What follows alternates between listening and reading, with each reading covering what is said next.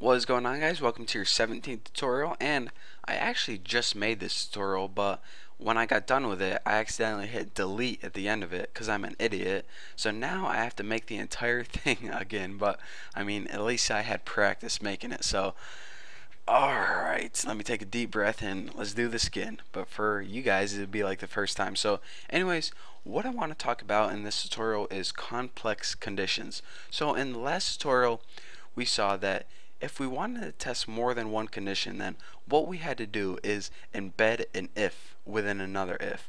So basically, if we wanted to test my first name was Bucky, then we go ahead and we made an if statement. And then we wanted to test my next my last name was Roberts, so we go ahead and we stuck if statement inside of that. But actually, I want to let you guys in on a little secret. There's an easier way test more than one condition, and you only have to use one if statement. So let's go ahead and make two variables. I'll go ahead and make first, and I'll set this equal to Bucky. And I'll go ahead and make another variable and I'll name this last and I'll set this equal to Roberts. Make sure I spell my last name right though. Roberts. And now let's go ahead and make an if statement. So before we needed to make two whenever we want to test two conditions. But now I told you guys you can test two conditions using one if statement so in order to test two conditions the first thing you need to do is this go ahead and put each condition you want to test inside parentheses. I call them curly braces sometimes, but I mean, I'm not lying to myself. I know they're parentheses. So the first thing I want to test is that first variable is equal to the name Bucky. And now go ahead and stick the next condition you want to test in parentheses. So now I want to test that that last variable is equal to my name Roberts. So Roberts. So you're saying, alright, that's simple enough. You have two conditions in here that you want to test. Simple enough, but you're not done yet. The last thing that you need to add is in between them, go ahead and above the 7 there's a key called ampersand. Go ahead and hit that twice. What this is going to tell JavaScript is, alright, you want to test this condition and you want to test this condition. And I'm only going to execute this code. Let's give it some code real quick to execute. Document write and write something stupid like hey good job buddy here's a cookie whatever I spelled every word with a typo but it doesn't really matter so anyways like I was saying whenever you use this special double ampersand it means alright I know with one if statement you usually use one condition but in this case scenario you want to test this condition and this condition right now and if they're both true then I'm going to execute this bit of code right now. So let's go ahead and save it and refresh and see what we get. Hey, good job there, buddy, yada, yada, yada. So anyways, like I was saying, when you use double ampersands, this needs to be true and this needs to be true. If one of them is false or if both of them is false, it's not going to run. So let's go ahead and change his first name to like Tommy, name my cousin. And go ahead and refresh it and it's not going to work since one of those conditions was false. So that is how you test two or more conditions in a single if statement and you're saying all right so how would I test three or four well if you want to test more then just go ahead add more ampersands and another condition right here simple enough.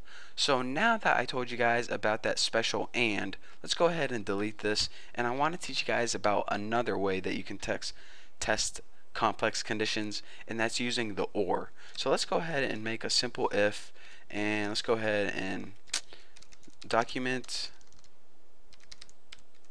write whoa wrong symbols there. Um let's write bacon it really doesn't matter what you write in there.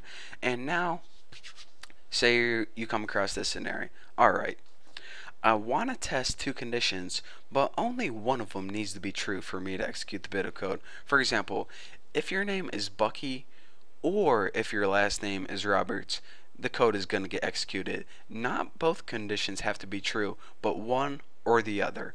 Well, let's go ahead and I'll show you how to do that. Just like before, you go ahead and write your two conditions in here. If first is equal to Bucky and last is equal to Roberts, and now you're saying, all right, go ahead and put those double and signs. Well, when you're using or, you actually use this sign. It's called, I think it's called the pipe symbol or something. It's above the enter key or the return key on your keyboard. And I guarantee you just look there right now. So don't lie. I know you just looked there. You can't resist. So anyways, when we use the or sign, let's go ahead and run this and see what happens. It says bacon, but you're saying, all right, well, we said if first is equal to Bucky and first is actually equal to Tommy, so why would this run? The reason it ran is because this last name was indeed equal to Roberts. So again, only one of these conditions has to be true in order for this code to run. If both of them are false, if if first one equals Tommy and last one equal Hanks, Tom Hanks, then they're not going to be equal to Bucky or Robert. So whenever you try to go and run this, nothing happens. So again, with OR, either this one has to be true or this one has to be true. And if they're both true, Tommy and Hanks, it's going to run. So if they're both true or this one or this one, it's going to run. It's basically saying it as long as one of the conditions is true, I'm going to go ahead and do the code you told me to do. So anyways, just like before, if you want to add more, just go ahead and add more pipe symbols and more conditions right in here. But that's the basics of this tutorial and um, testing complex conditions. It might save you some time from nesting a bunch of if statements.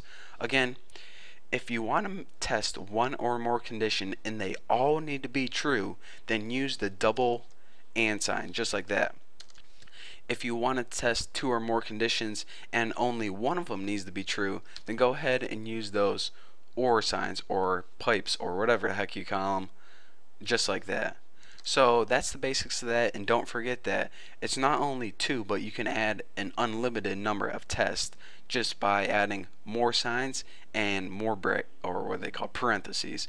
So that's all I have for you guys for this tutorial hopefully whenever I stop this tutorial I'm actually going to save it this time and not delete it because it, well I guess if I delete it this time then you guys would never be hearing this. But anyways um, thank you guys for watching. Don't forget to subscribe and I'll see you guys next video